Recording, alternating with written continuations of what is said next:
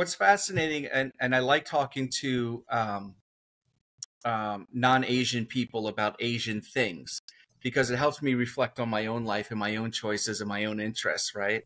So in here, I'm, I, you know, I try and talk about the transformative nature of experience. And but before we get to that, the nature of the transformation within us, I'd like to always, you know, see about how does a a, a white guy from Canada end up like feeling propelled and compelled to pursue uh, things Chinese. Well, you see, it's so cold here that we just go toward where there where it's not cold. And Shanghai was less cold. But um, to give you a, a, more true answer to that, um, when I was a, a young child, um, I was a fairly weak child, and uh, I was not in the best physical shape. So at school, they would have me um, go to a remedial class every day during kindergarten and grade one where I would actually walk a straight line. That was one of the classes that I had to take every day. Wow. And uh, so I was really uncoordinated. But as, um, as a young person, um, I got really fascinated by the Ninja Turtles. So you know, uh, legit 1980s kids, right? And so seeing the the Ninja Turtles, I of course I wanted to study ninjutsu and we did have a ninjutsu teacher in the, the town I grew up in, in Guelph, Ontario, um, which is like a hop, skip, and a jump away from Toronto to you know give people a geographical idea of where it is. Um, yeah.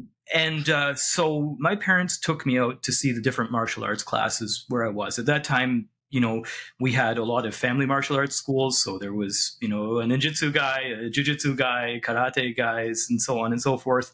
Um, even a bit of kung fu, but basically what it boiled down to is that uh, when I went to a bunch of the schools, they kind of scared me because I was a bit of a timid kid. So I ended up going into to Goju Ryu Karate because that was the school that we found that seemed like the most sort of nice place, suitable place, nice teachers, nice classmates, and uh, so I hung out in the in the martial arts world as a kid. Um, but as a teenager, I, I got myself into all kinds of trouble. I've um, was I was pretty badly bullied in school, and uh, so in high school I had some coping mechanisms that I was using that put me into the wrong crowds, and you know put me in like the party scene and so on and so forth. And I came out of the other end of that at about twenty years old, pretty damaged. And so um, what had happened was that um, I was mentally not very healthy, and uh, my my mother was concerned about me, and she said, "Hey, listen, um, I study this thing called qigong, which is you know sort of tangential to what you used to do in martial arts. Why don't you come along and check it out?" And so I did. And uh, after the first class, um, there was this really nice teacher named Michelle McMillan, who uh, is a is a very serious Buddhist practitioner too, and somehow that practice was able to lead me into mental stillness and physical comfort. And I, so I came out of that first class thinking, wow, I'm going to do this for the rest of my life. And incidentally, so far it's turned out to be true. Um, so that attracted me to, to these arts, but I wanted to practice seriously. And at the same time, my dad had all these martial arts books lying around the house, like, you know, uh, BK Frantzis, the power of the internal arts and and so on and so forth right? And so i looked at all of those and all the zheng manqing taiji books and uh, i thought yeah wow like i gotta study bagua. That was what i thought i should should study. Well you know i'm short and stocky. It's not really the art for me. But i looked around for a bagua teacher and uh, i went to toronto and i met a few people there and you know uh, they they were fine, but it wasn't what I was looking for. And then uh, I met this dude. Uh, that's not. I met my teacher, whose name is Yang and uh, he um, he's based in Montreal. So I went and studied with him. Uh, it happened to be that my teacher, uh, my sister, was living there. Um, for university. So she would leave in the summer to go home. And so I'd go live in her place in the summer and study with Master Yang. And I did that for about um, five years. And then at some point, he said to me, Listen, you know, if you want to understand this stuff on a level that's deeper than just physical, you should probably spend some time in China. So um, I happened to get an opportunity to go live in Shanghai um, as part of an exchange trip. Well, actually, it was just a, wasn't really an exchange trip. It was just like an overseas study trip that was organized by the University of Guelph. And uh, I stayed there for a few years. I, I worked at the university, uh, OCTCM there, and uh, you know got into further into martial arts culture and tea culture and and eventually uh, Taoist culture as well. So that's kind of the story in a nutshell. Huh. Oh my gosh! So we we need to just back up a little bit. So your mother was taking qigong classes, and your father had karate or martial art books around the house. So a little bit of a parallel. My my father um, studied acupuncture. He was a he was an osteopathic physician. He passed away a bunch of years ago, but he studied uh, acupuncture, took courses at the first acupuncture school in the U.S. here, and he had acupuncture books on his bookshelf. My mother was a psychologist and a hippie at one point before that, and she had books on Buddhism and the Tao Te Ching on her bookshelf. He was my stepfather, so when they met and those two things were on the shared shelves, um, that was part of kind of just seeing that with that for me. And for you it seems like a similar thing. They didn't really my he didn't practice acupuncture. He couldn't reconcile western medicine and acupuncture theory but he he did two three 10 day retreats to do mind uh, to do uh, meditation with uh, mahesh yogi and um and um my mother my mother was just a psycho you know a psychotherapist but the books were there and that influenced me. But how did your parents then get into Qigong and martial arts? And is that what brought them together? Or did they find together? I don't think so. Um, I, I think that the story is uh, my dad, when he was a kid, he was when he was a, a young adult, um, he worked for the government of Canada for a time, uh, doing electronic repair on on ship on boats, um, and also you know electronic stuff for cartography tours um, up north. And so he was exposed to a lot of different cultural forms. And uh, early on, one of the things that he was exposed to was jujitsu. And so um, after studying jujitsu, he had an appreciation for the martial arts. And when I was a kid, because I wanted to study karate, that at that school, the teacher, whose name is Jim Kelch, um, really, really great guy, very you know foundational in my thinking. Actually, um, he was also teaching Taiji, and so my dad would study Taiji with uh, with Sensei Kelch, um, you know, so, a few days a week. And uh, as a result of that, that's how the book collection got built up. Um, he still does uh, Taiji secretly uh, at midnight every night after everybody else in the house is asleep. Um, because when I was living with them um, while we were looking for a new house, I'd, I'd get up sometimes and I'd see him out there wearing his bathrobe, you know, looking like the dude doing his taiji on one leg stuff. And uh, and he, he also secretly does some kata, you know, and, and, and push ups against the wall. Um, my uh, so I know he's still into it. He just he just uh, hides it. My mother, um, when she was pregnant with my sister, so I have a little sister who's five years younger than me, but unfortunately, like a hundred years smarter than me.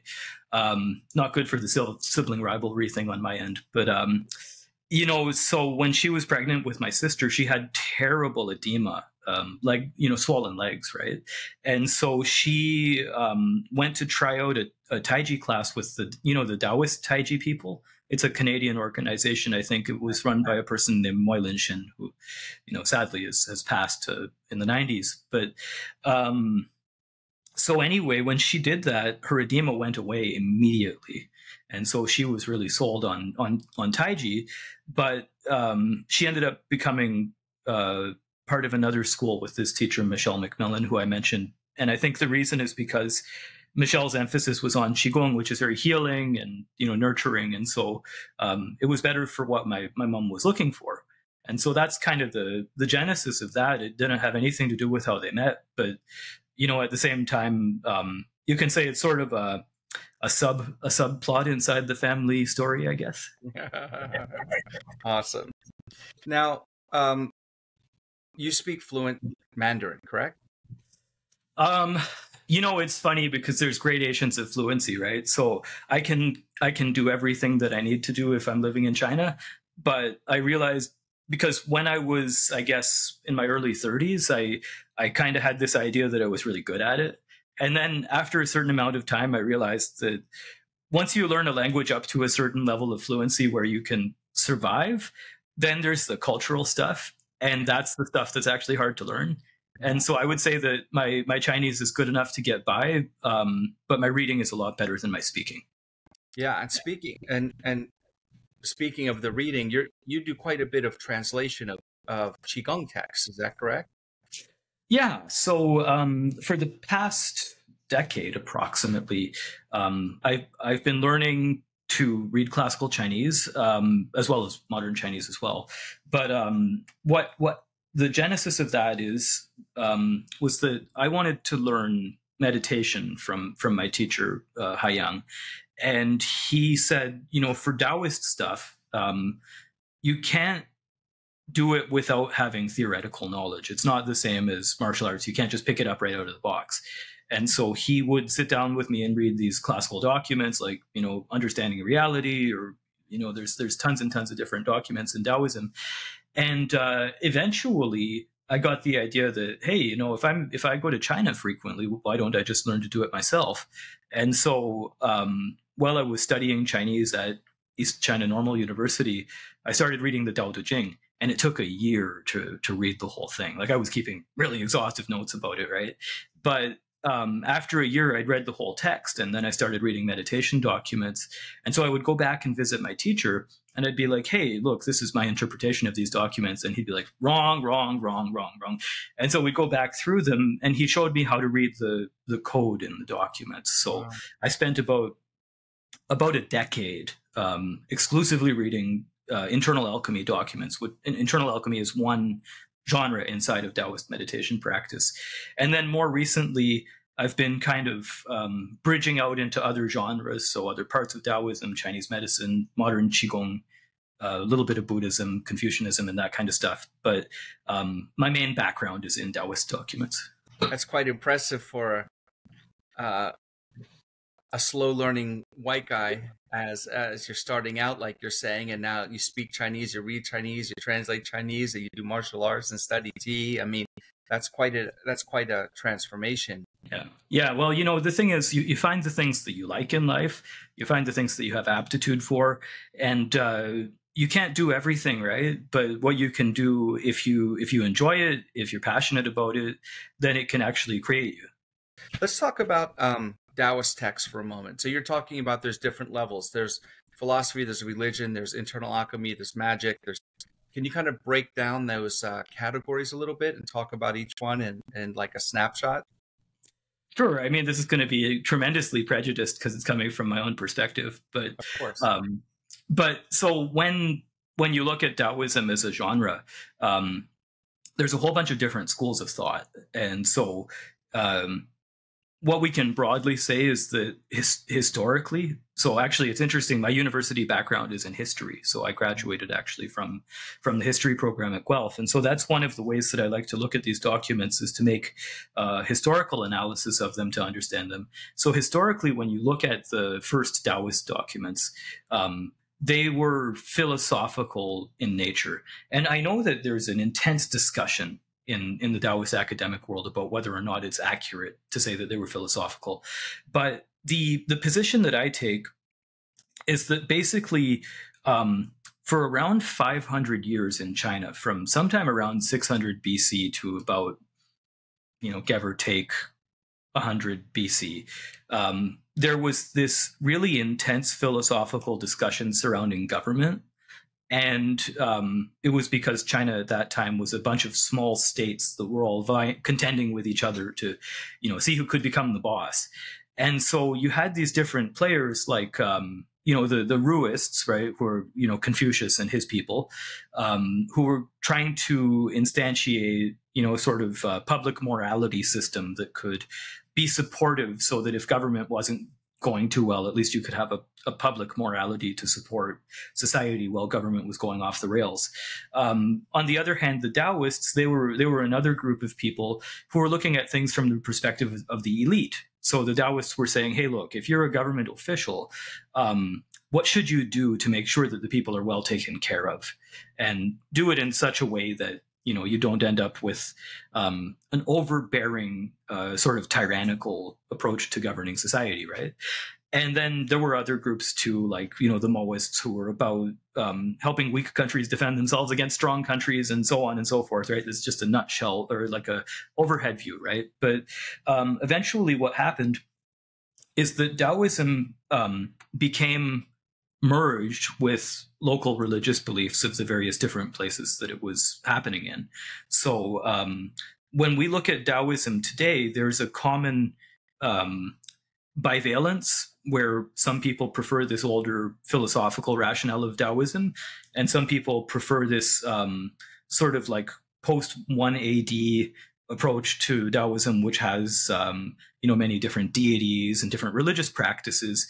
Um, so typically we would say that the big two categories of Taoism from a modern perspective in, in China are called Dao Jia and Dao Jiao. So Dao Jia means the, the Taoist philosophy school and Dao Jiao means the Taoist religion. And in, in modern times, we kind of retroactively look at Taoism and think about it in that way. Um, but even within that genre, um, what I'm more interested in personally is a third thing, which is called xiu dao or xiu lian.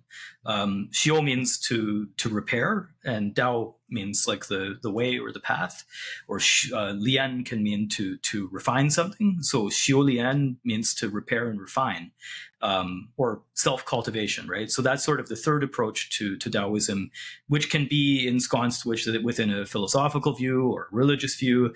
Um, but what it's about is um, basically viewing the body and the mind as a holistic continuum and trying to take care of yourself so that you um, become healthier physically and mentally and you become an improved person in society.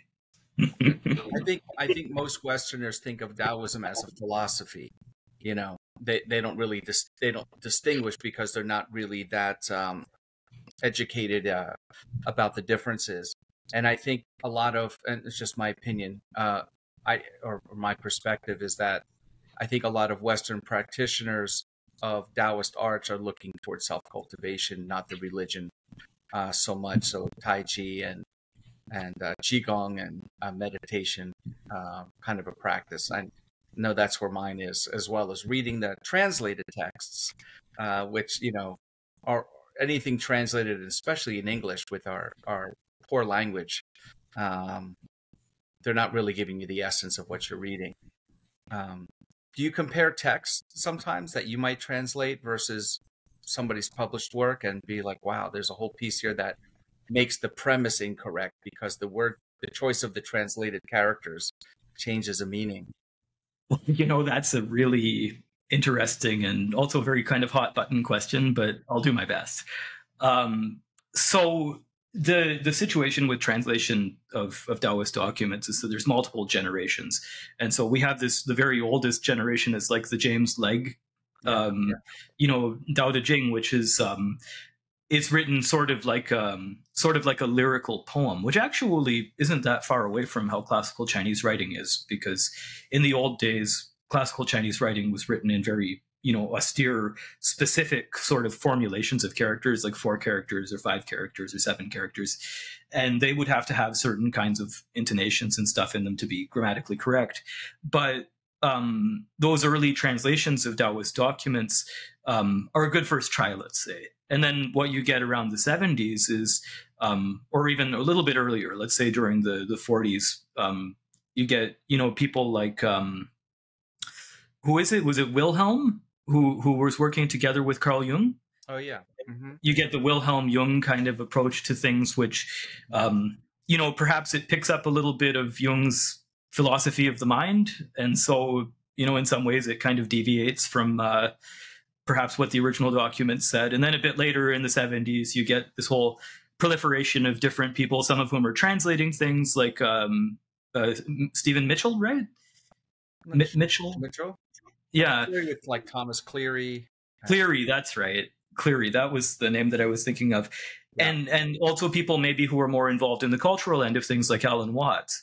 Right. And uh, you know, they the way that I view it is there's a there's an evolution of of ideas and I don't think that even today we've got it completely right. Um, our academics today are very, very good um, at, at translation. Mm. And so if you look at today's sinologists, um, or you know, you look at people like Livia Kohn, they're very accurate. They have very good footnotes. Um, but then the issue with with Taoism is that um, Taoism is something which traditionally, um, if you do practices associated with Tao, so you do meditation or Qigong or whatever, is traditionally imparted from teacher to student. Right. And so without that oral transmission, it's very hard to understand some fine points of the documents. Um, and I had a conversation with my teacher yesterday on the phone where he completely flipped me for a 180 maybe a maybe a 90 degree flip actually. Um, about my understanding of some of the finer points of internal alchemy documents and this is after you know well over a decade of studying this stuff with him.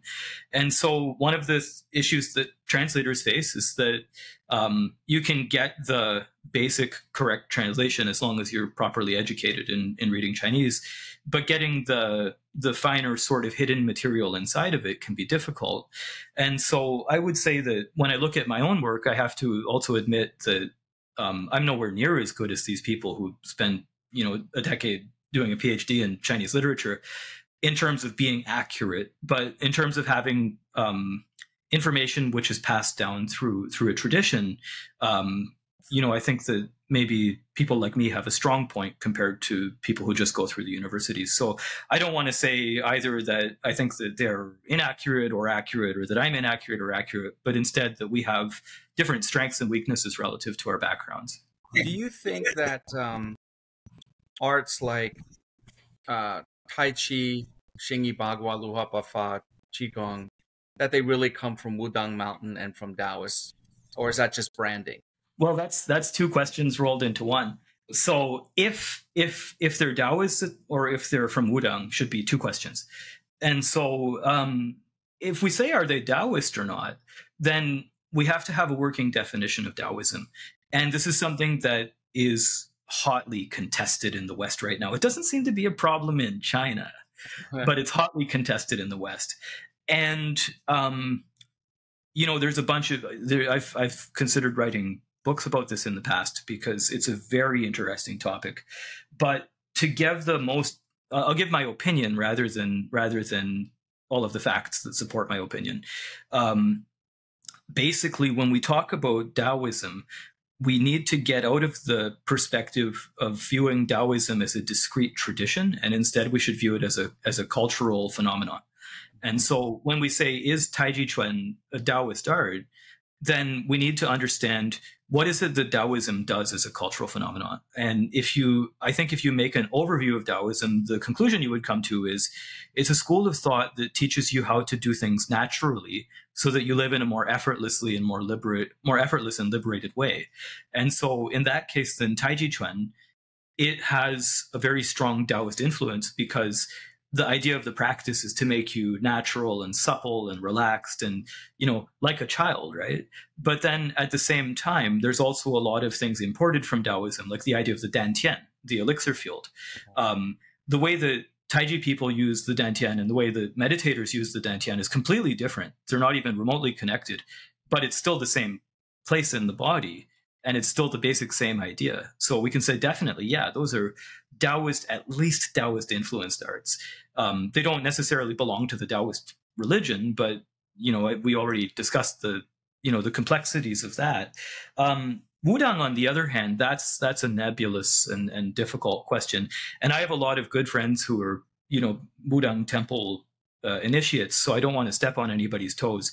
Right. But I will say that in the early part of the 20th century and then in the later part of the 20th century, there were um, some very good martial arts historians. So Kang Ge-wu is one of them. And uh, they pretty much proved that Wudang doesn't have any connection to, to Taiji Chuan before the 20th century. So um, the traditional story is that Taiji was created by Zhang Sanfeng, who was a, a Taoist immortal at Wudang. Zhang Sanfeng actually is a really interesting character. I, I actually taught uh, about 30% of his internal alchemy syllabus uh, earlier this year hmm. uh, to a group online, and he was he made a lot of good documents for for meditation and for the Taoist religion, but he probably didn't have anything to do with martial arts. Um, I think the common story is that Taiji probably originated with a person named Chen Wangting, who was uh, a senior member of the the Chen family in, in Chen Village, Henan. And uh, actually, I lived in Henan for for a number of years, right down the street from Chen Village. Um, if you go to that area, they have very very good yam. It's this little thin yam, and if you eat it, you um, you become sexually excited. I thought you were going to say immortal, but sexually excited is better. So Wudang, you know, it's but the thing about Wudang, right, is that um, they have a very very good background in Taoism in terms of being involved in it for hundreds of years. Um, what I would say is that there's um, a very good connection in the 20th century, um, which can help you understand how northern Chinese martial arts like Bagua and Xingyi and Taiji came to Wudang. And uh, the the main person who taught those arts at Wudang, his name was Fu Jinqiu, Hmm. Um, and uh, I actually met his grandson um, in a train in Hubei province one time. Very, very nice guy, very humble. And it's it's hard to imagine that his his grandfather's you know Xingyi practice is super famous at Wudang, but he's just in the countryside doing his thing with you know maybe his twenty or thirty disciples.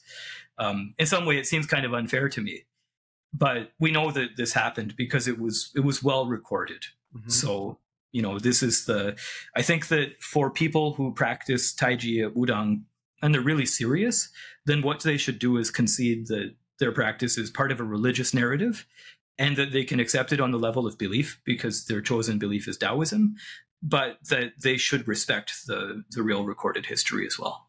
Yeah, I agree with that. There's a lot of uh, myth building, or we call um, creation myths, about all religions and martial arts are like religion. So every martial art has a creation myth, creation founder. It's got to all lead to one, you know, like every art having to lead back to Shaolin. I mean, it's just insane. Chang San Feng, a lot of people say that he's mythical, not a real guy, or like the Yellow Emperor, it's 20 guys with one name and etc. But you're saying there's actual text under his name, right? Um, my understanding is that he was a real person who I think lived uh, probably like around 1100 AD. But the the thing that complicates it is that after he, you know, stopped being on the earth, or perhaps, you know, who knows, right? One story is that he flew away, another story is that he went under the ground, right? So um, when he stopped being a mortal human, then um, he became deified. And so during the, the Ming dynasty, um, which was you know until about I think uh, the late 1600s or early 1700s, um, Zhang San Feng was was treated as a as a deity within sort of even the the official government doctrine, and so what that meant is that people who wanted to make certain claims would say that they were Zhang San Feng, so you can imagine that then this guy is seen all over the place, maybe even today, right? right. And, and then it, it's further obscured by the fact that sometimes in, in China, when people have a new idea, um, traditional Chinese culture is not so amenable to making a claim by yourself. So you have to say that you were taught by somebody who's very famous. Right. So with these people who created different schools of meditation, they might say, you know, um, I was fishing and uh, wouldn't you know it, Zhang San Feng rode by on a boat made of bamboo and gourds, and he stopped and he wrote me a little alchemical text, and this is what I'm giving to you now. So that's one of the reasons why it might seem, oh, this person is sort of an amalgam of different people, but in reality, there is a, a historical claim that that Zhang actually was a real person. Mm, very interesting. So I think you and I need to talk about publishing a book on that you writing, me publishing, uh, on the historical real person and on the translated documents. I think that will be quite a worthwhile task. Yeah, great. I have a big database of them on my computer. So ah, wonderful. Um, and you know that that that story that you just said about him coming by and you having to have a teacher, you see it in India in the Hindu traditions. The, the it's Mahavatar Babaji has appeared to everybody, and all these past gurus and swamis have appeared to everybody to give them the teachings. It makes researching very difficult and finding, you know, truth very difficult.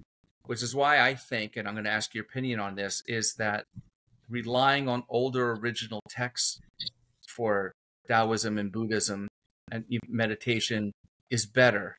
Well, you're certainly giving me a, a great uh, chance to, you know, play my own horn. But um, because I heard you wrote a book. What's that? I I I know that you wrote a book. Ah, yes, alchemy. I believe that I did. Classic text. Yes, yes. Thank you for the opportunity.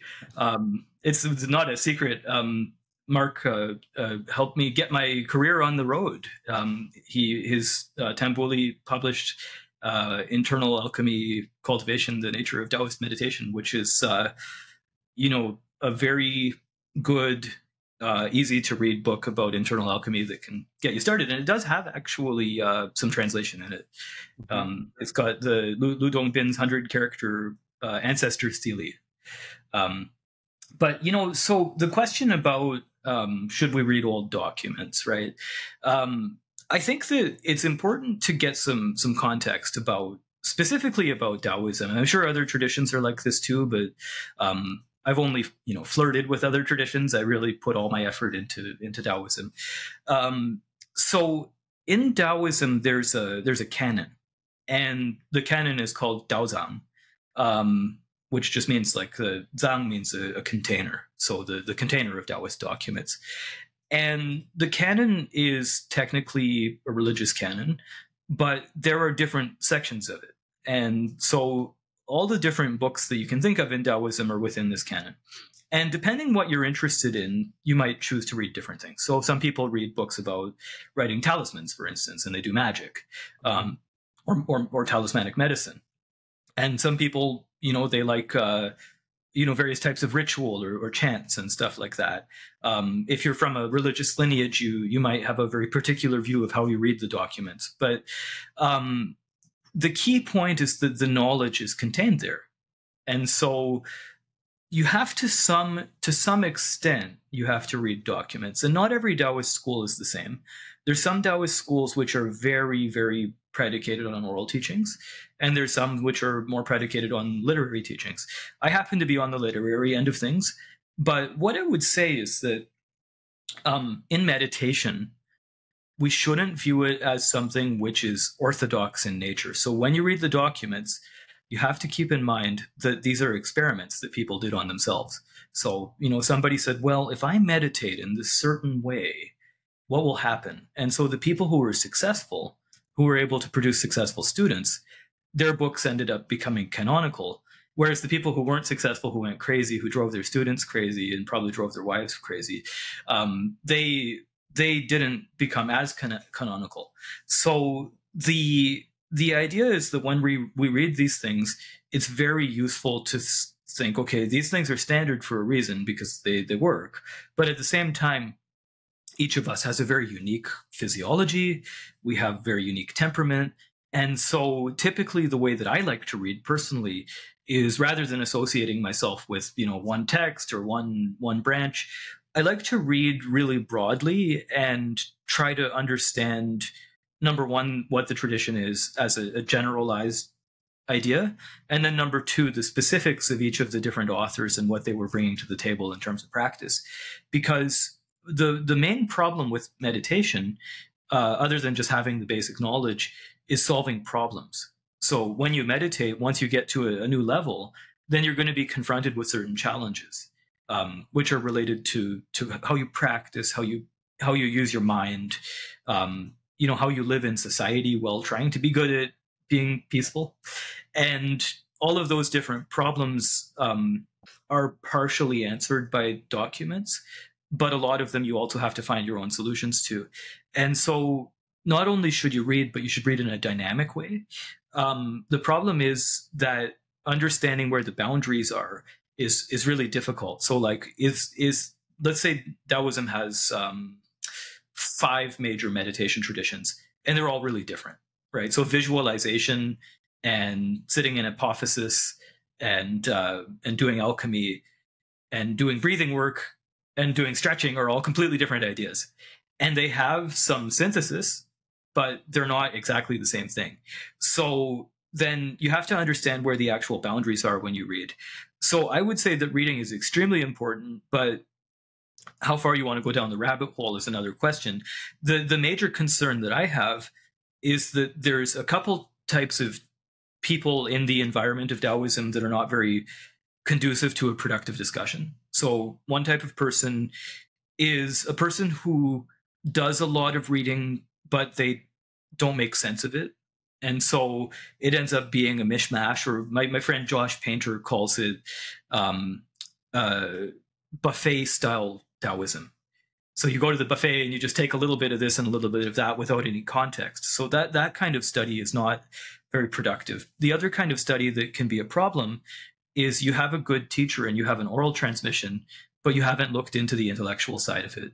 That's really dangerous because, you know, that's when you start seeing people getting their own ideas and the before they're ready to have their own ideas and putting you know a little Vajrayana together with a little Taoism, yeah. you know, with a little bit of Christian mysticism, and what you end up is just with a, a wild mess. So, you know, um, you have to find a way to streamline yourself, but that's really difficult. That's where the there's a very subtle thing.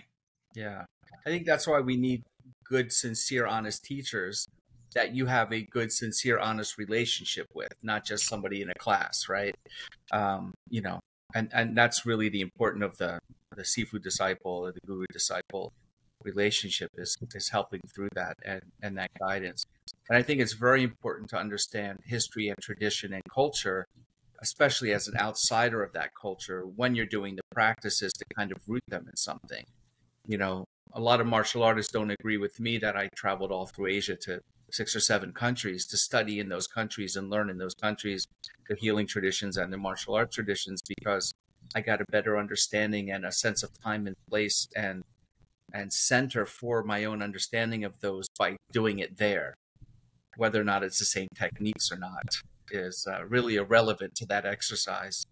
Um, we talked about that you, you had mentioned about the Dantian, and I, I think that's an important area to talk about uh, in qigong, uh, in tai chi, we talk about it in you know two fingers width or so below the navel, the elixir field, the place where the energy is uh, gathered, and you're uh, you're saying that in the Taoist arts, uh, as opposed to the Chinese arts, the Dao, the Dantian, excuse me, has a different um, meaning or use. Can can you talk about that a little bit? Yeah. So when we do, let's start with uh, martial arts. So yeah. when we do martial arts, what we call dantian is really something like the center of balance or, or, the center of gravity in the body. And so it's this area under the uh, under the umbilicus. And when you when you root in martial arts practice, one of the things that you can do is you know sort of sink into that area so that you're ready, right? You can think of like a tiger being ready to pounce. That's relaxation in the martial arts is kind of just being ready, isn't it? Yeah. And so we get rooted into this center space and there is a sense of energy there, right? It's not like there's no no energy, but the energy is very much dedicated to doing the practice of martial arts. And so if you have things like um you know, let's say a something resembling a kun- I'll use kundalini as an example just because it's the easiest way to talk to a broad audience. Let's say you have something approximating a kundalini experience when you practice martial arts. That's um, that's good. It can be a positive experience, but you wouldn't make the mistake of saying that martial arts are the same as kundalini either. Um, and so when you look at the way that the different arts contextualize the, the Dantian area, the martial arts are looking at it as the center of all of the movement. It's like a hub around which everything moves. Qigong practice looks at the Dantian as um, a major conduit and storage place for energy. But when we circulate energy in Qigong practice, usually it will be either through physical movement or through mental activity, right? So you can do, Qigong has two major standard versions of practice, right? One is called Jingong, which means stillness practice, and one is called Donggong, which means movement practice. And so you could sit in a meditative posture while doing Qigong, but usually it involves some sort of activity of the mind. And so, like somehow leading the qi or stimulating it so that you, you bring it around the body and then you bring it back to store in the dantian. But it's not that common for Qigong people to spend a lot of time in absolute stillness and absolute apophasis, right? Like absolute uh, forgetting the self. So meditation is really geared toward that extreme of stillness. The idea of qigong and martial arts in terms of qi is you go from movement to stillness, but in meditation you go from stillness to movement. And so when you think of the dantian from the Taoist perspective, the idea is that this is a part of the body which contains some genetic information. That's the that's the sort of typical idea that um, when when we were created as human beings, right, we came together as a result of the merging of sexual material from our parents, and our parents had their own ancestors, and those ancestors go all the way back to the beginning of life on Earth, and the beginning of life on Earth is linearly connected to the beginning of the, the universe, right? So there's this original creative moment in the universe, which is, you know, we think we think it's the Big Bang in, in modern science. Um, and that creation precip- all the stuff that happened precipitated from that.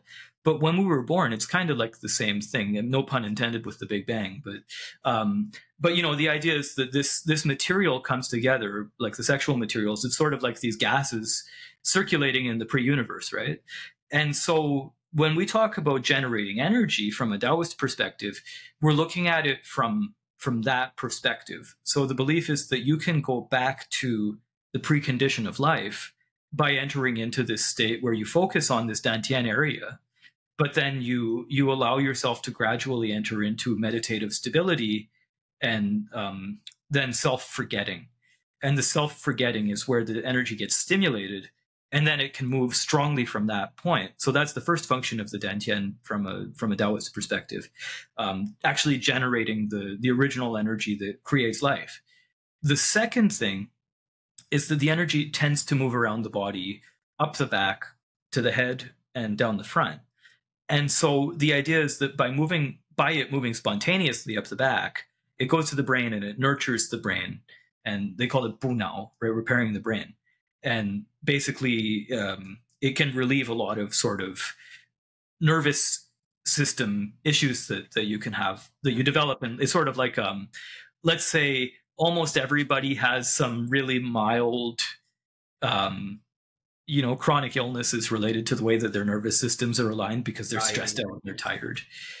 And so after that happens, then the chi it comes back to the dantian. Usually we will swallow our saliva and bring it back to the dantian and then store it behind the belly button. And then at that time the dantian acts as a storage center. So when we say dan in in internal alchemy thinking, what we mean uh, dan it means it technically means cinnabar but we use it to mean uh, a medicine, basically that's congealed from this chi that we have that we've circulated in our bodies, that we bring back to this point behind the umbilicus, and so then that energy uh, congeals over time and it becomes bigger and bigger and bigger, and eventually it becomes so big that it can move freely up and down the body or even outside of the body, and so when we think of that um, concept, Dan Tian or elixir field it doesn't necessarily just mean the lower abdomen or the head or the chest. It could be anywhere where that congealed energy is. Um, and once it gets strong enough, then you can control it. And so basically the, the high level concept in, in internal alchemy is that you want to be able to use this elixir to modify your energy appropriately to what's happening in your life. Um, so that let's say you were really tired well you have a reserve of energy that you can tap into that'll make you less tired or you know um, let's say you're you're getting older which is inevitable well you can slow down some aspects of the aging process just by having more abundant energy um, which is based on something that's really innate so whereas you know in martial arts we might say we mainly think of energy in the function of self-defense or or cultivating health through movement. In Qigong, we think of energy through the perspective of cultivating health through movement. But in Taoism, we think of cultivating energy from the perspective of doing something which is the the most essential level of existence is is stillness and non-being. And all of our consciousness, all of our energy precipitates from that. So we want to create that and then we want to keep it. So the Dantian in from that perspective is um, this creative place in the body and in the mind and then how we store it. So it's a, it's a more, um, in my opinion, the idea of Dantian in, Tao, in Taoism is a lot more um, nuanced than a lot of other practices. So, when we talk about the microcosmic orbit, this kind of circulating through the body, um, most people, I think, practitioners starting to, to practice that, uh, use visualization, mental visualization, to imagine that there's some chi in the body in the dantian that you have to then move up your spine and move down the front and circulate and circulate. In your in your experience, does that need to happen or is it sitting in stillness quiet sitting meditation enough that it would just move on its own when it's yeah so you know it's it's interesting. I, will I'll give you two answers. One will be short and one will be a little bit longer. So um, you can definitely activate the small heavenly orbit just by meditating and, and keeping your breath and your attention in your lower abdomen. Um, there's a, a process. And the process basically is that you need to attain stability so that your mind doesn't run away but you also need to not fall asleep. So usually we call that process timing the fire. Mm. so the fire refers to the fire of your spirit right? And so you use your, your attention to illuminate that area and you enter stability. But once you become stable you have to actually enter into meditation and forget yourself. And then after doing that for some reason something gets activated down there. And you know it could be hormones it could be related to the the parasympathetic nervous system or it could be some combination thereof. But something happens that can cause the energy to move up the spine to the head. Um, so that's the that's the simple answer. The more complicated answer is that this idea of circulating the energy with the mind um, in Taoism is a major taboo. So it's called Kong Zhuan um, empty circulation of, of the microcosmic orbit. The reason they say empty is because there's no energy there. It's just the mind moving. So from the Taoist perspective, it's a taboo. But that doesn't mean that it's necessarily wrong. So in the 20th century, maybe even as early as the 17th century, people in the Chinese medicine world were starting to experiment with different ways that you could move the qi up the back through the use of different breathing practices or through the use of different types of visualization. And those are outside of the internal alchemy tradition. It's a different way of viewing it, but they have a lot of utility for health maintenance. So, um, one of the systems I can think of in the 20th century that dealt with this problem really well is called Zhenqi Yunxing Fa. So, the um, means true qi, Yunxing means circulation, and Fa means method. So the circulation method of True Qi, um, which was um, a mid 20th century Qigong system where you sit in meditation, but you stimulate the movement of the Qi by focusing first on the chest and then on the abdomen and the breath. And then gradually, by allowing that really small amount of movement to happen, the Qi gets stimulated in the back and moves up the head. Um, and so it's not the same as internal alchemy but it has a different idea. So, from the Taoist perspective, one of the things we're trying to do is reveal our original nature, right? So, what our mind is when there's no thoughts happening, and what our mind is when there's no intention happening. Well, you don't get to go into a no thought environment by thinking, and you don't get to go into a no intention environment by intending. So, any intention or thought that we use in practice is usually used just as a way to get the mind to become stable. Um, but the benefit there is a, it's a longer term benefit and it's spiritual right it's self-revealing whereas if you want to do it for only for health purposes it might be better to use one of these other methods where you know you actively move the energy around because if you do it properly and you you don't make mistakes then it can be very good for your body. Um, so i would say that neither way is wrong but you should you should contextualize your practice and and have a goal. And then whatever your goal is follow the goal and try to do it as best you can. I heard from somebody um, another guest who said that actually his opinion now in his 80s is that um, we don't have there's there's no inherent dantian there. We actually have to create the dantian through internal alchemy first so that you ha- you have to create this cauldron to hold the energy. So no amount of regular qigong is going to do anything if you don't first create the container with you know in which to hold the energy. Uh, and that seems to be a little in contrast to most of the books that say it's automatically there and you know you've got your prenatal chi and your postnatal chi and it's all collecting and etc what is your um, outlook on that Well, you know, um, one of the ways that that I think about these things is I want to um, be fair to everybody and include everybody to the extent that they're all that they're good actors. So, you know, if people are doing things that are bad, I don't want to include them. But anybody who's doing something that's good and helpful, I'd like to include them and and not have to be exclusionary because of my preferred practices. But um, I would say that from an internal alchemy perspective, then um, your your guest is completely right. Um, when you practice um, seated meditation, or you know, neidan and internal alchemy, right? Um, at the start, you don't have any dantian to speak of. You just have an abdomen, right. and so they have words to to describe that, right? They use the word um, uh, kunlu, right? The earth, the earth uh, burner, or tufu, right? The earth uh, earth cauldron, um, rather than the word dantian. And so uh, the other thing, though, is that Dantian, from the Taoist perspective, is not just in the abdomen; it's really anywhere in the universe where there's energy. Mm. So um, the Dantian is like um, is like an energetic field that can exist anywhere. But we think of our bodies as being our Dantian, right? So you can sort of think of it. In, I used to think of it kind of as being like a battery but I'm not sure even that's completely accurate. Um, I'd say from the Taoist perspective that your, your your guest is right.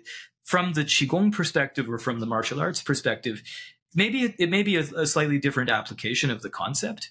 And so, if we want to be really fussy, we can say, well, Dantian is a Taoist concept, right? It originally, the first mention of Dantian comes from um, a docu. It's not a document; it was a stele. It's called the Lao Tzu Ming, right? The the stele of Lao Tzu, and um, that dates back to you know like 86 BC or something like that. And on it, it it has this whole discussion about you know different things associated with the Tao, and it says the Dantian is a great purple room, right? So well, what does that mean? So they hadn't defined it as like where is it in the body? And if you look at old Taoist documents, one of the things you'll see is that the dantian can be in quite a lot of different places.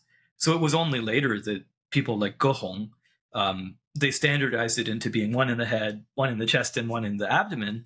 But even some people in the internal alchemy tradition, they don't like the idea that the dan- middle dantian is in the chest. They say it's in the upper abdomen. Right. So you know these these terms, they're really. Uh, I would say that the easiest way to understand them is tens of thousands of people have done science experiments on their own bodies over time. Yeah. And they all have different ideas based on their experiences. So I'd like to talk about these things in a standard way. But if I do talk about them in a standard way, then I have to actually, um, from my learning and from the learning of other people around me, I have to coalesce a standard because there isn't one that's consistent. Right. Whereas in modern Qigong culture or in modern martial arts, the standard is much, much better than in Taoism for sure. Another one of my guests likened the. He said, "There's no Dantian. Your, your body is like uh, a lithium battery. It's all or nothing. You either have the energy or you don't have energy, and it permeates the entire body because all the cells and the and et cetera, et cetera, et cetera. And that seems reasonable as well, especially if you think of the whole body as a Dantian, not just three locations. Yeah. Yeah. Well, you know, the, the thing is that um, yeah, and the dantian could even be outside the body if you, you know, depending on your practice. But one of the things to um, consider is that not everybody has developed this energy. Of course, if if right. they had, then we wouldn't be talking about this. But um, but on the other hand, everybody has the basic material that they need to be able to cultivate it. So that's the you know the important thing in Taoism. Taoism has a very hopeful message for humanity which is that every single one of us comes from the same origin. And so every single one of us is united by this really essential, wonderful energy that created life. And so we can all tap into it. Yeah. And so I would say that, you know, to put a positive spin on the statement that you either have it or you don't have it, that's the that's the cultivated, developed energy. But the basis of the energy everybody has. You talked about uh, the Neidan traditions and probably what seven, five, seven you know distinct traditions. Can you talk about those a bit? Sure. Yeah, so I count them at seven. seven. Um, there's the best scholar on Neidan in China right now is named Hu Fu Chen. Um, I think he counts a slightly more than seven traditions, but some of the traditions he counts um, are have overlap within other traditions, and some of them don't have any extant documents. So mm. we, we don't we don't know about them much other than perhaps stories or archaeology. But I would say there's seven major Neidan traditions, and if we look at them historically, um, they all come from one source. So the source is from a person named Lu Dongbin. Um, Lu Dongbin was a, a let's say a low-level government official and scholar during the Tang Dynasty, uh, I think in the 800s, and his story basically is that he he had this very very you know convoluted dream where he became a became the equivalent of uh, let's say the equivalent of Bill Gates, but then he ended up getting betrayed and he he he was lying dying on the street and he and he woke up and the immortal uh, Han Zhongli was there and said to him, "You see, so chasing after fame and fortune isn't isn't really all it's cracked up to be. Come to the come to a cave with me and I'll teach you meditation." And so um, you know that that he, probably just figured it out by himself but um, anyway so he wrote a couple of poems about meditation and there was a 300 eh, two or 300 year period where people were trying to figure out what they meant. And so there was this second there's this other tradition called jindan dadao. Jindan means golden elixir dadao means great way. And so there was a period of time where people were trying to figure out what lu dongbin was saying and they put all these other old Taoist practices together. So you get um, texts like Lingbao Bifa, which is like a, a, compendium of Taoist Qigong practices that are supposed to lead toward the golden elixir being developed. But when the tradition really took off, and what I take to be the first internal alchemy tradition, um, it was created by a person named Zhang Boduan. Uh, Zhang Boduan was, uh, I think, alive in the in the 1000s, um, and he wrote a document called Understanding Reality and another document called uh, 400 Characters of on the Golden Elixir. Oh. And so his school we usually call the Southern School, um, and it's based on um, what they say xian liao ming hou liao xing. So first achieving um, innate life energy, and later realizing the the innate nature of the mind. Um, so his school was popular for, for a few hundred years, and there was a whole sort of group of people that were practicing things that were associated with him. There's, I think, seven major people in that tradition.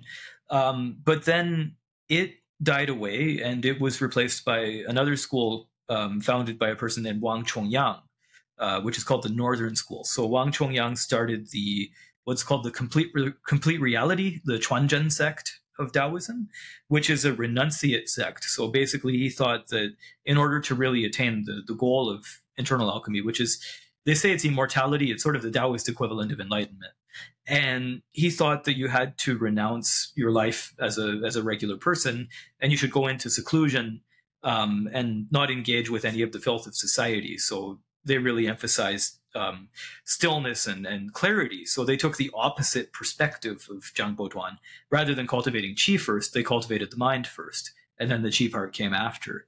Um, the, then every other tradition of internal alchemy is some combination of those two. So there's the middle school, which was founded by Li Dao Chun um, in the 13th century. Uh, there's the um, Eastern school, which was founded by a person named Lu Xixing, Lu Xixing was a secular practitioner, and he did um, he did Taoist sexual practices, so he couldn't become a monk, and so his school is seen as different from from the northern school um, because of this, you know, him staying in society basically. Uh, the Western school was founded by a person in the 19th century named Li Hanxu. Um, it's very, very similar to, to, to the Eastern school. Um, the Zhang San Feng school, we talked about Zhang San Feng before. It came along maybe like 100 years after the, maybe, I don't know exactly when, but it came along after the Southern school. Um, and I, either before or after the Northern school, I'll have to look into it. Um, but it, it's pretty similar to, to, to the Southern school in a lot of respects. Um, and uh, then I think the other major school is called the Wuliu school. So the Wuliu school is an amalgamation of Taoism and Buddhism. So it imports a lot of ideas from from uh, Chinese Tao, uh, from Chinese Buddhism. And so basically, if you had to typify the schools, basically there's um, three major worldviews. One worldview is you practice chi first. The other one is you practice uh, awareness first, and then the third one is that you combine the two. Uh, then, in terms of practice, um, there's a few there's a few types of practice. So one type of practice you start by focusing on the lower dantian. The other type you focus between the eyes, and then in the third practice you focus on the lower dantian, but you really emphasize stillness. So basically, if you had to make a broad generalization of Neidan practices, those are the basic gates of practice. Either you're focusing in the lower body or in the head, and then you know there can be different things associated with them from you know going from there. But is, is it mostly that they're all in the Qigong uh, category of just being still, right? You're not trying to circulate something at the early stage or imagine, visualize something. Would that be correct or no?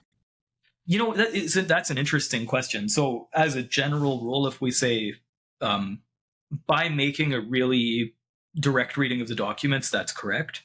But uh, there's another sort of deeper layer to it, which is that all of these schools have these things called koujue. Kojue means um, oral formula. Mm-hmm. And so let's say that you have uh, a document, but it's in a certain tradition, but you don't have a teacher. Um, when you meet the teacher who understands that document, they're going to give you oral formulas. And the oral formulas are going to tell you sort of things about how to practice that are hidden inside of the document. And so um, I'll give you an example. Before I ever did internal alchemy, um, I pestered my teacher for years to teach me Taoism, and uh, he would, ah, this isn't good for you, this isn't good for you, whatever. But then, you know, eventually, I just tried to do it by myself, and I ended up giving myself some problems. And so he took pity on me, and the first thing that he taught me was to imagine a purple cloud above my head that came into my body, all through my body, you know, down to my feet, basically. Um, and that opened up the energy channels and it actually caused the energy circulation to begin. And then after that, he started teaching me internal alchemy. So that's an example of using a, a, a technique outside of alchemy to start the process. Yeah. And that's very, very common. But the thing is that you have to be clear that the supplementary techniques are only meant to activate certain things for a short period of time. And then after that, you can stop practicing them and go into a more pure meditation. The other thing is you could meditate just starting from a very pure place. It's just that it's more difficult. So sometimes people will have certain practices to open certain energy channels 1st mm-hmm. It's like where do you enter the Tao from where you are, right? Yeah. Uh, and we think of those things as like jumper cables. You know, you need the jumper cable to start your car, but once it's started, you take the cables off, and yeah, you go on and move. Yeah. I make the joke with people that it's kind of like getting a like a Reiki attunement right. in a certain sense right? You go you have the they dangle the rocks over your head. And see the, the thing is though i think that when reiki originated in japan the the person who founded reiki probably had knowledge of taoism. Yeah. Because that that idea of doing something where you attune the top of the head energetically in order to get energy in the rest of the body this is a very very taoist idea. Yeah. Not only that but making the the the, the, the characters with your hands you know and oh uh, yeah like a mudra the mudras is uh, is all part of that as well. You know, in terms of Taoist qigong and Buddhist qigong, do, is is there really much of a difference? I mean, you know, that's an interesting. This this is a very cool thing that I wish more people would talk about. So, um, when we use the term qigong, the first thing that I have to say is the term qigong is is a is a Temporary. I don't want to say it's a problematic term, but it's a term that we have to understand in order to be able to really talk about it in in detail. So the idea of qigong as a discrete set of practices was something that originated let's say its genesis was probably around 1920 but it originated as a movement in the 1950s in, in mainland china because of uh, the chinese government deciding to adopt these um, you know often very eclectic practices to promote public health and so when we use the term Qigong to apply to Buddhism or Taoism, we're using it actually um, sort of in a post hoc or, or a retro retroactive way. Um, and the reason why we use that term usually is because the old practices have all these different names. Like in Taoism, you have Dao Yin, um, Neidan, uh, you know, cun, cunxiang, these different, all these different terms that mean different things. But if we took them all together as, as one broader sort of cultural system, we could use a word to define them, which we would call qigong. Um, now, a lot of people who practice Taoism in contemporary times prefer the word xiudao, but I use qigong personally as the as the as the phrase that I use. Um, but then, when we talk about Taoist and Buddhist qigong practices, what we're talking about is a very diverse and eclectic set of practices within both traditions. So, in in some cases, they're very similar. Um, as an example, uh, the the Tiantai Buddhist tradition, which is famous for the Zhiguan school of meditation. Zhiguan means um, stopping and observing. Uh, they have qigong practices which are based on doing, um, you know, six different sounds, right? Which in modern times we call six healing sounds, um, which are from from the Taoist tradition. Actually, they were talked about by Tao Hongjing and Sun Simiao before the Buddhist tradition ever got them. But on the other hand, if you look at Vajrayana Buddhism that entered China from from Tibet or from Nepal, uh, that genre of Buddhism, their practices that we would call qigong, right? Their visualization practices, um, you almost never see in Taoism until much much later, hmm. when the Taoists take some of them and incorporate them into some of their practices. So it, when we look at different qigong practices, probably the best way to do it is again to make um, to make an analysis by history and by individual traditions. And then we can say some of them are very, very similar and some of them are radically different. And there's a lot of Buddhist documents like, you know, imagine that you get an incision made from your left heel and it cuts up your leg and exposes your muscle and bone. And then under your bone, there's marrow. And under the marrow, there's nothingness you would never see that in Taoism. So you know it, it's a it's a complex field, but um, the way that I so I have my own vision of how to to view these things, which is based on modern research. It's not just my opinion. It's based on Hu Fu Chen's research and also the, the research of Chen Yingning, who was one of the major Taoist figures in the 20th century. Um, my view is that basically you have the following faculties that you can use for meditative practice. You can use your mind, you can use your breath, you can use uh, intention, you can use visualization, uh, you can use internal stillness, um, and you can use some sort of movement. But beyond that, um, how many other faculties can you, you know, you only have how many senses do we have? Like maybe some people say five senses, some people say six senses. Um, but beyond those senses, uh, kind of our, our mind is the only game in town, right? So if I um, I don't see any problem if I practice Taoist arts by doing, let's say, the um, you know on Om Mani Padme Hum, this kind of mantra. Um, one of the Taoist books I work with, uh, called Xingming Guizhi, actually has that mantra. And on the Om, you imagine uh, a Buddha made of pure white light inside of your umbilicus, and on the on the Ma, you imagine um, you know the uh, a Buddha made of blue light, and then you know going around in the different colors.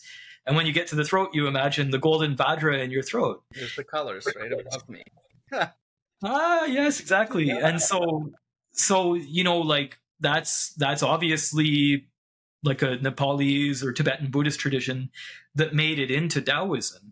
Um, I don't see any right. conflict there at all. But the way that we practice it is a very Taoist way of practicing it. So um, when you look at these old traditions, it's very important to recognize that the people who, who created them were highly eclectic, uh, often very open to collaboration with, with different groups. We have thousands of years of documentation of the practices. But when we, we have such a long history, a large canon of information, millions of people having practiced these things, countless generations. There are quite a few people today who say cheat is not real. Well, you know, the thing is that the the very first thing is understanding that the way that we use language is culturally subjective. And so when we use a word like chi, um, there was, I think, to be fair to the to the people who are uh, critical of it as a concept, when the idea of chi came to Western countries, we thought of it as a thing um, you know, chi is a substance. But the reality is that that's never been a claim that was made um, in any generation of Chinese medicine or Taoism. Um, when you look at the idea of qi, the best way to think of it is as a as a category, and it describes multiple real, you know, instances of things that happen. So multiple real phenomena, and then if you look at it that way, then if you go into try to understand what the word qi means and then what it means when it's applied with different prefixes, then you can understand better what this actually is. And you can make a more reasonable argument that people will be able to accept. So I'll give you an example. This is the this is the most basic one. Um, the the character qi originally wasn't written in the way that it is today. It was written as three lines. It almost looks like the Chinese number three, and it was used to describe smoke or steam that comes off of a fire. And so when you see smoke or steam rising up into the sky, right, this is a it's a tangible gas um, with different you know variations of um, liquid material or different molecules in it, but it's visible. That's the key point, right? And so eventually that became associated with clouds. So one of the first ways to discuss qi was actually there's two characters. One is called yin, and the other is called yun. Yin has the character for qi on top, and then inside of it is a character which means cause, like the cause and effect cause. The other character, Yun, is the character for qi, and inside of it has a character called pronounced wen, which means to warm. So yin yun means condens- condensation and evaporation. Mm. So when you look at the environment every day, right, the sun uh, it shines on water on the earth, and some of the water evaporates and it goes up to the sky and it forms clouds and then those clouds eventually also they they come down as rain.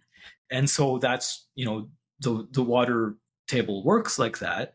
It's also why in genesis they say that water is partitioned into the water above and the water below right? So these are things that ancient people understood through uh, objective and uh, empirical methods of, of analysis. Uh, so when people observed that, they also knew, right, you breathe. And when you breathe, you're breathing in air from outside. Well, the air outside is inexorably connected to the gases in the environment, which we already know are, are related to things like evaporation and condensation, and more importantly, the flow of, of air in the environment, right?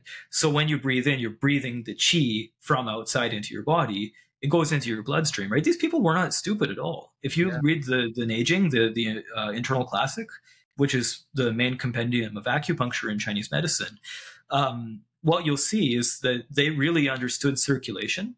So they knew that when you breathe in, you bring clean air into your body, it enters into your bloodstream, and the blood goes around and it nourishes all of the tissues in your body, and then it is returned back via the the veins to be breathed back out into the environment. So then you you you know aspirate or you exhale the the turbid or the dirty chi back into the environment. These things are are scientific concepts, but the issue is that Chinese thought, especially traditional Chinese thought, is holistic in nature. And modern Western thought, since the time of Descartes, is uh, highly based on tearing things apart into their smallest sort of size Mm-hmm. Reduc- it's very reductive, right? And so the thing is that if you look at our own history in the West, until the until the Renaissance, our worldview was also extremely holistic. And we had many, many similar ideas in our civilizations. So what you're seeing is a, a culturally preserved foundation of the way that people used to think. It's not wrong um, I personally, outside of outside of Taoism, one of my great interests is Unani medicine, which is the Greco Greco-Arabic medicine tradition preserved in India. And the reason I'm interested in it is because it's the last remaining variation of what we used to practice in the West. When you look at it, it's it's different from Chinese medicine, but it's very very similar because it's based on the same idea that nature changes according to time, season, weather, the relative heat and moisture in the environment, cold, damp, etc. Right? Uh, all of those things have an outsized impact on the body. It's just that we have interior heating and air conditioning now and our houses can be as dry or as moist as we want them to be but you know look at somebody whose house has mold problems right. and you can find out what is it about dampness that hurts people right so if we want to look at these ideas of chi before we get into a discussion of identifying you know individual points or, or meridians and stuff like that it's really useful to give people a little guided tour of of the rationale of it because there are things that just describe nature. It's not meant to be it's not meant to be something you can put under the microscope because it describes so many different things it's like saying you know it's like saying movement isn't verifiable because it's not a ball that's moving right well sun rays you can't put under a microscope and capture but they're there yeah yeah. You can't see yeah, electricity, cool. but you can feel it and see its effects. And I look at chi kind of the same conceptual description as you, you can't see it, but you feel it and see its effect. Yeah. Yeah. Well, I'll give you an example that I think is another useful example. Um, my teacher, I hope he'll be okay with me telling this story, but he said that when he was studying um, with with Yang Meijun, who was the founder of White Crane Qigong, um, that sometimes when the students would be in the room with her, the room would spontaneously smell like flowers. Mm-hmm. And so he asked one of the students, why does this happen? Because, you know, it was China in the 80s. They didn't have perfume. And uh, the student said, oh, that's from her body. It produces the elixir fragrance. Well, why? Right? Because that seems magic. But he said, hey, look, I bet there's a rational explanation for it. If you look at horses or you look at other types of animals, they can smell what each other's moods are like, right? Animals have to be able, many animals have to be able to actually smell each other's mood. Um, humans don't do that, or probably because we, you know, um, not to, not to, I don't want to get my career ruined here by invoking Terence McKenna, but Terence McKenna, you know, had this idea. He said, hey, maybe people were following an- animals, they were following lions around, eating rotten meat. Maybe that's why our sense of smell sucks because we just didn't want to put up with the putrid scent. But many animals can actually smell what's going on with each other's bodies. We have hormones and pheromones. Yeah. It's just that our overall sense of smell is much weaker. So let's say that perhaps this teacher she cultivated herself on a hormonal level strongly enough that it was palpable sometimes. So if you give that a mysterious explanation, then that's when it becomes impossible to study from the perspective of science. And then that's when you get these guys that wear fedoras coming out and you know making fun of you but the reality is uh, there's people that can do that and it's been recorded right and it's been recorded also by you know un- unbiased observers from scientific backgrounds so there must be a reason for it but what we should do is try to find friends who can help us to research that reason yeah so i have a two things to share there. One, a uh, very good friend of mine, uh, Michael Malazuski, who was one of our guests on, uh, he's a psychologist. In the 1970s, he had a Shaktipat initiation with three gurus of the time who were first visiting and doing that here in the United States. And one was Swami Muktananda. And he said whenever he was in the presence of Muktananda while he was doing this practice, the entire room smelled like roses. It would just smell like roses. And then when he's done, the scent's gone. And one of my qigong teachers, whom I wrote a book with, uh, Ho Fa Xiang, um, could make the room smell like flowers just as a demonstration. I, I want to move into in, in the last segment here about some very important work that you're doing, and this discussion has been extremely um, enlightening and uh, and interesting. Yeah, brilliant. So um, I, I'm in a few different online spaces. Um, I like to compartmentalize things so they don't bleed into each other a, team of us, um, including myself, my teacher, and and a couple of classmates, and also some people, unbiased people from outside of our organization. We we started a nonprofit called Dao E. Dao E means Taoist Arts Organization International, um, and the purpose of the the project is to create a better understanding and promote the the Taoist arts, which we consider to be um, self cultivation practices associated with Taoism, um, the internal martial arts, uh, as well as Chinese medicine and Qigong. And so, um, our idea is that by talking to experts in the field, we want to gradually understand what the different standards of each major tradition is. And from a very microscopic view, starting from lineage. So what we've been doing so far in order to get to that goal is that we've been interviewing people um, in the in the scene, you know, including, for instance, we had an interview uh, the other day, and uh, we're really looking forward to, to airing that one. Everybody in the organization really thought it was good. Um, but we've also interviewed other people like uh, Livia Kohn, um, various martial arts figures. Um, Peter Ralston was one of the interviews that I did recently. Um, we've interviewed people in the Qigong world, uh, Mimi Mimi Kuo-Deemer, um, who's based in England, a very good Qigong teacher out of England. We did recently, um, and we're talking to these people in order to understand their their practice, their view, their research, uh, and eventually we'll also start to talk to masters in in mainland China, and Taiwan, and, and other places too. Um, and that's you know starting toward the goal of trying to understand and disseminate um, the major branches within these these arts that we practice.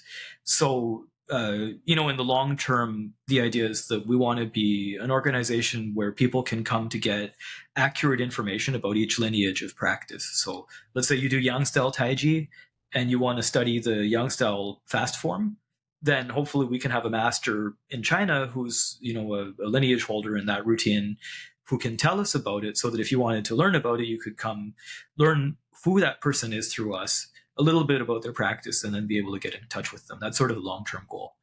Um, so that's Dao Yi. And then in terms of my own project, so my main project is called Immortality Study.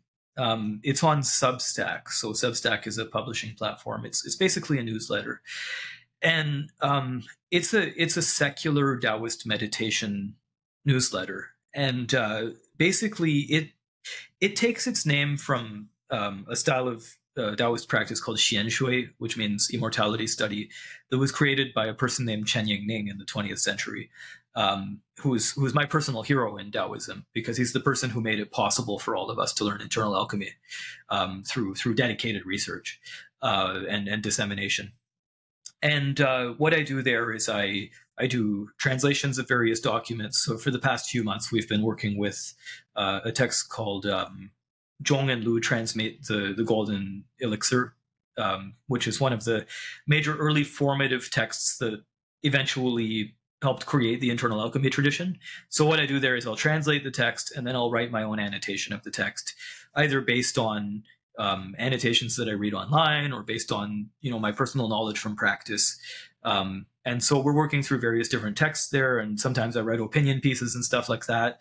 That's the that's the main place where I do most of my work. Um, associated with that, I also run classes every month. So um, what I'll do usually is people who read that that newsletter um, once a month or so, there will be an ad that basically has the the upcoming offerings. And what we do in the classes is we read various documents from internal alchemy in order to understand how the different traditions work, uh, to get beginners started on their practice, and to get intermediate students to be able to go farther in their practice. Um, the third thing I do, and this is really the other main thing, so anything else other than that is, you know, like a bit, a bit tangential. But the third thing I do is called Qigong Project. So um, it's a website, which is, you know, it's a Word, WordPress website. And um, what I'm trying to do is catalog the entire tradition of Qigong, which is a big drink of water, by the way. But basically, the idea is that um, I've created different sections. So for Taoist Qigong practice, Buddhist Qigong practice, Chinese medicine, modern Qigong. And what I'm trying to do is give people uh, a historical and theoretical background that can allow them to understand how we got to where we are today because one of the things I've noticed about the Qigong world is that usually the way that teachers think about Qigong is from their own lineage perspective. So, you know, let's say you do one of the major Qigong lineages, uh, you're thinking from the perspective of what your teacher said and what your grand teacher said, and that's that's good. But what it leads to is a silo effect inside of Qigong. And so it makes it hard to understand some of the more subtle things about the genre that are very important like you know how exactly we describe words like qi or dantian this this long conversation we had today um, i would say that probably 99% of people in the qigong world don't have any idea about anything outside of the tradition they do. So what i've done is i've i've created a website where i'm gradually adding content that looks at these things from a historical perspective but with an eye to talking about modern qigong practice. So what i want to try to do is to say how is it that we got to this place where we have you know 100 different styles of qigong some of which are supported by the chinese government some of which are folk systems but they didn't come out of nowhere. And you know, uh, they they did come from somewhere. So what the website is about is where they came from, how their theory works, and how their how the different ideas are, are different and how they coalesce together. So Qigong project is uh, I anticipate in the future that I'll probably be putting more work into it than the than immortality study. Um, although I expect both to you know continue having considerable output. Um, I uh, I somehow have fallen into the role of a, a writer. Thank you. You're welcome. uh, also, something I wanted to mention is your passion for Chinese tea, because I've, oh. I've uh, years ago bought some really nice pu'er tea from you in a brick of some of some nature, and you're very uh, also involved in the tea culture. Uh, can you tell us a little about that, and if you have a website for that as well? Or... Yeah, well, that's that's great. I, I used I was in the tea industry for a decade, um, and uh, so when I first went to Shanghai, one of the biggest things I wanted to do was study tea tea ceremony. Um, my my teacher Yang Hai, he had always you know shared various teas with me. He's a he's a big tea connoisseur too, but um, I went to Shanghai and I wanted to study tea ceremony, so I, I, I looked around a lot. It wasn't hard to it was it was difficult to find you know the genuine article at first, but I found a teacher who was uh, really really knowledgeable and really generous with with her teachings, and uh, so I studied especially oolong tea and pu'er tea with that teacher um, for uh, about three years and I also frequently went to Taiwan during that time to to research oolong tea and to research the pottery there. Um, I've been all over uh, South and, and Central China researching tea and pottery in those places too. Um, and I used to run a couple of different tea companies. So my first tea company, the Tea Kings, was was run with a guy named T.J. Willia, uh, T.J. Williamson, sorry, who was doing something very similar to what I was doing, but in Japan and uh, I'm, I'm proud to say that our company won um, the North American Tea Championships back when it was called that. Um, the Tea the Tea Kings won the first place prize category in baked and aged oolong tea in 2013. Uh, it might have been 14, and then the second year after that, um, my company uh, Chayo Tea won the same prize uh, in second place. So I've got two really beautiful ornate glass prizes, which I keep away from my cats. Right. Um, but uh, so I was in the tea industry for a long time, but I, I took a break from it to focus on Taoism. Yeah. Um, what I think will happen is that in the future, I've I've been monitoring my social media, and it looks like the people who follow Qigong Project would like to know more about tea. So I think what I'll do, I have a YouTube channel just waiting to get filled up with tea videos. So I think that someday when I have a bit of free time, I might do some tea stuff. Wow. Um, so you can you can keep an eye out for it. And and I did actually create a system of tea based meditation or qigong that takes ideas from internal alchemy and combines it with tea ceremony. Oh, wow. Um, and we did we we did teach some classes about that um, to to a cohort a couple of years ago. So that might come back on the table. You never know. It, it depends on interest, and you know maybe some some wonderful person in California will sponsor me for a green card or something like that. That's right. then I can come teach tea in the in the land of tea, in the land, which is California. Yeah, yeah, yeah. That sounds great. Well, maybe you know when the time is right, we'll have you back on for a tea podcast because I'd oh, like to know more about tea, tea cultivation, brewing, fermenting, you know, yeah. the, the, rituals and, and the ceremonies and all of these things as well. It's so interesting. Do you know that um, the person, one of the people who created modern Chinese tea ceremony, um, his name is Zhou Yu, and uh, I met him in 2015. I had a I had an introduction to him from my teacher, and uh, we talked about the relationship between tea and meditation and uh, they actually do like a, a version of internal alchemy that they do while they drink tea. It's very very interesting. Well, I thank you very much, uh, Robert, for coming on out and uh, hanging out with me today for a while and and sharing a lot of your history background insights and uh, especially your very impressive um, knowledge of the history of Taoism and, and Qigong and Chinese culture and having the language to back it up and the readings. And uh, it's been very nice conversation. I know our listeners will love it uh, as much as I did um, having a conversation with you live. Thanks, Mark. I really appreciate it. It it was a blast. Wonderful. I'll see you soon. See ya.